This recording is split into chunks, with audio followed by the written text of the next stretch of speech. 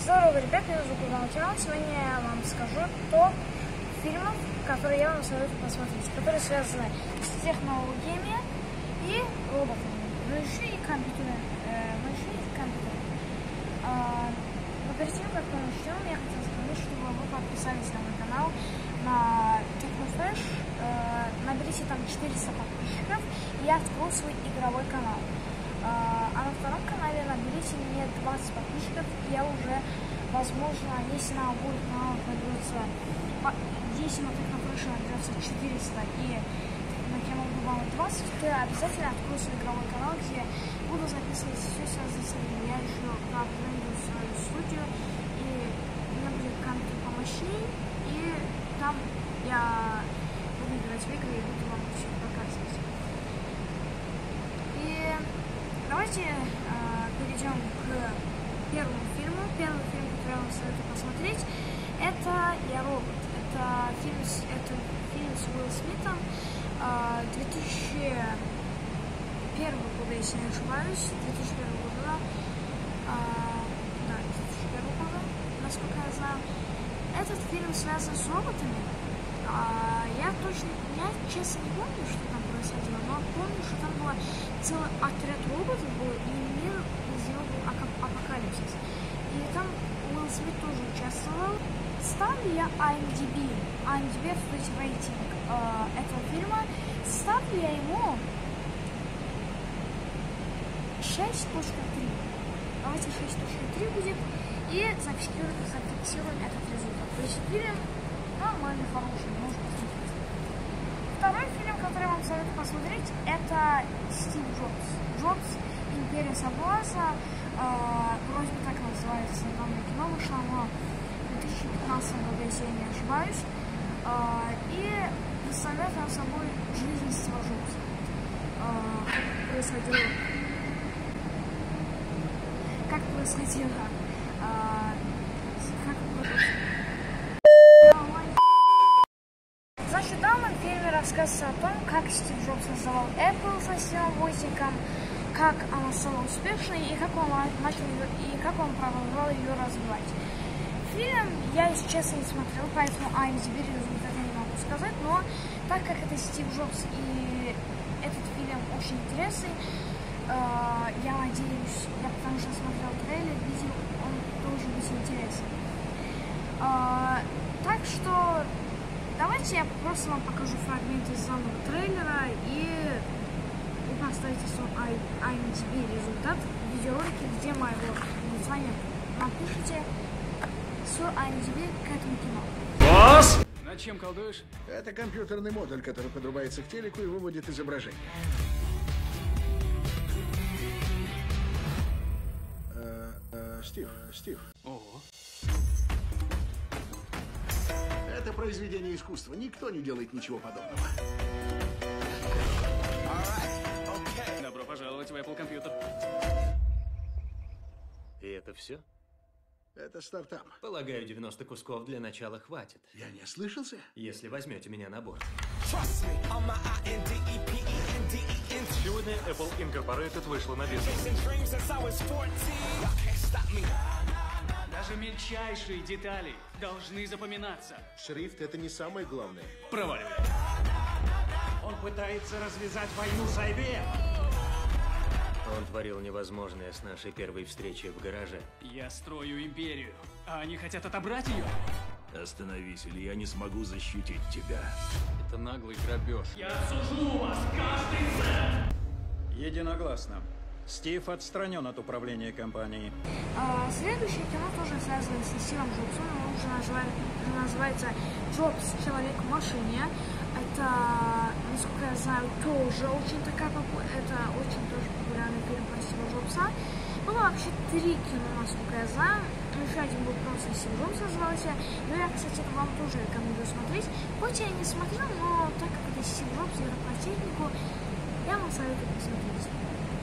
Давайте так, вы посмотрите еще Джобс Человек в машине, фрагмент. Спасибо, что пришли. Сегодня вместе мы создадим немножко истории. Стив Джобс. Человек, который был повсюду. Я увидел свой первый компьютер в 12 лет, и я был им очарован. Журнал Time писал, что он единолично создал индустрию. Работая в этом гараже, Стив Джобс и Стив Возник построили первую плату для Apple компьютера. Это была магия, мы могли влиять на весь мир. Нельзя усидеть на двух стульях, он был бунтарь, но он также хотел действовать законно. Это велосипед 21 века. У него была миссия, и мы помогаем вам выразить себя наиболее полно. Он создал iMac. Вы видите? Он создал iPod. Он создал iPhone. Разве не круто? Он создал все. Его продукты были любимы, но не сказать, что он был любим. Ему платили 7 тысяч, он говорил, что 7 сотен, выписывал мне чек на 350. Это обижало, потому что мы были друзьями. Стив создавал поле искаженной реальности вокруг себя. Он мог убедить людей сделать то, что они считали сделать невозможным.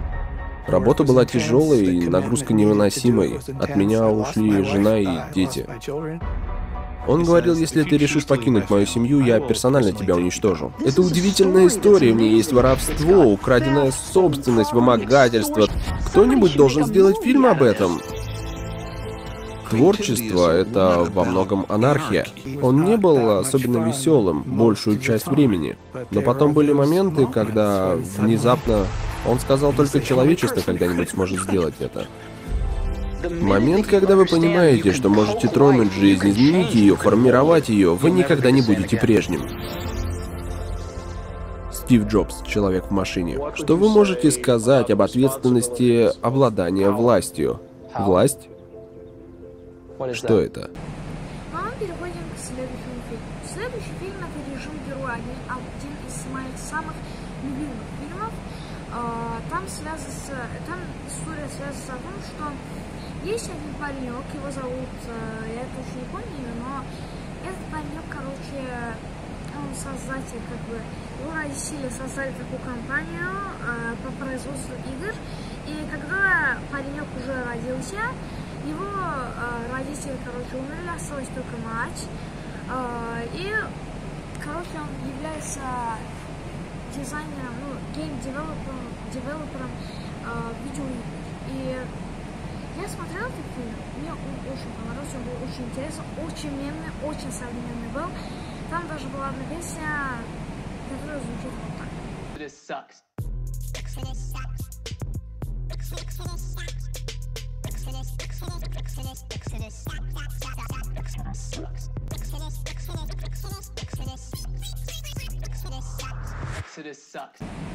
Ставлю я этому фильму рейтинг, давайте поставим какой-нибудь высокий. 8.5 ставлю этому фильму, потому что, ну, чего-то не хватает. Вот точно не знаю, но чего-то не хватает. А, мы переходим к следующему фильму. Следующий фильм называется «Люди в черном». «Люди в черном», возможно, многие из вас знают этот фильм, но те, кто не знает вообще впервые слышат, что это такое, я вам скажу. Э, значит, «Люди в черном» — это фильм, связанный про то, что бывают несколько агентов. Я смотрел 1997 года версию и еще смотрел версию 2012 года, остальные версии я не смотрел. Я смотрел только наполовину э, самую последнюю часть э, «Люди в черном». Но там уже нету Уилл Смита, к сожалению, но он поучаствовал, если он поучаствовал, было бы хорошо.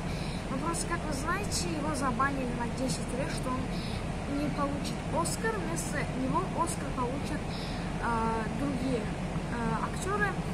А причина из-за того, что произошло следующее. Да,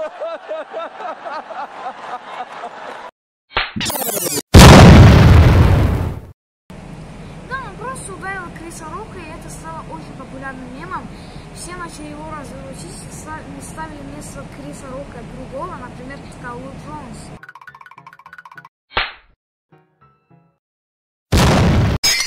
Или же делали так, что у Уилла Смита в руках бывает э, меч джедая.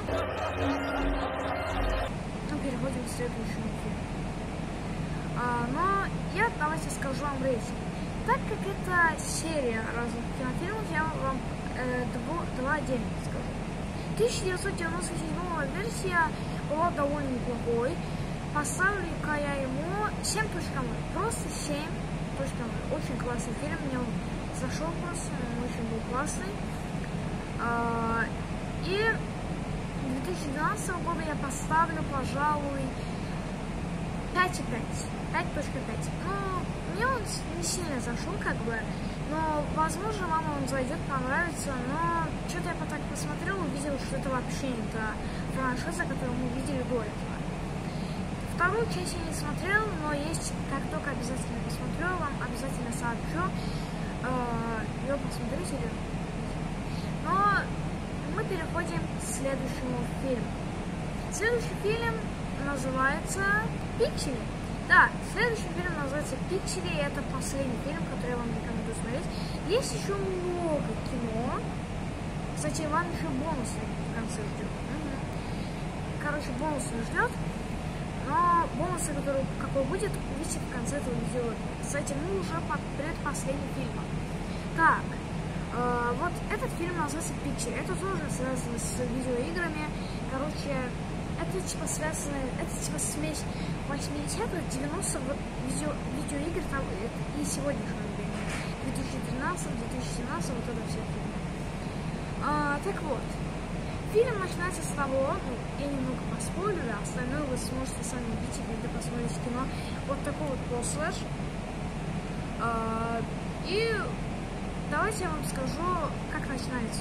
Значит, начинается так. Два пацана на велосипеде просто ездят в какой-то конкурс и играют в игровые автоматы. Там они играют Пакман, Галага, несколько игр они играют. И в конце они с, они с каким-то другим еще пацаном играют, так которые... И они соревновались. И тут, и кто выиграл, вы можете посмотреть в кино, я даже сам не помню.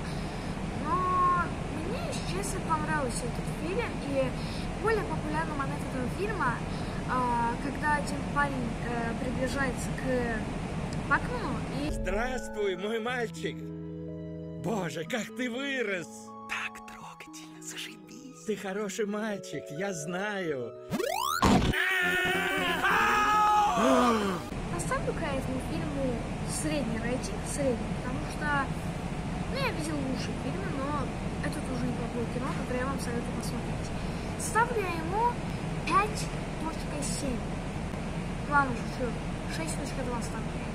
6.2. Да, вот мой рейтинг. А, и мы переходим к бонусному фильму, который ждал вас в конце этого видеоролика. Это интерактивный контент, ну как бы фильм, э, снятый в Netflix. Это снято от Netflix. Называется он You vs. Wild. Есть еще и остальные. Там есть ты в природе без памяти, ты в природе и еще третья часть. Э, вот так выглядит постер этого фильма. Это скорее даже не фильм, а просто интерактивная игра. Там вы должны управлять пультом на клавишу. То есть как? То есть вы должны решать, что за вас будет делать выживающий. То есть, например, он вам скажет, где мне, где будет мне удобнее жить. И притом была даже одна серия, где нужно было найти доктора, который делал вакцину от малярии, и там, короче, было так, он сказал, короче, где хранить мне лекарства, в пещере или в дереве. Но какой этот ответ будет, вы увидите, конечно, в Netflix. Я, я знаю, что вы смотрите Netflix, так что вы можете найти You vs. Wild или Ты в природе без памяти и другие части. Ну а на этом все. Увидимся с вами еще раз. Пока.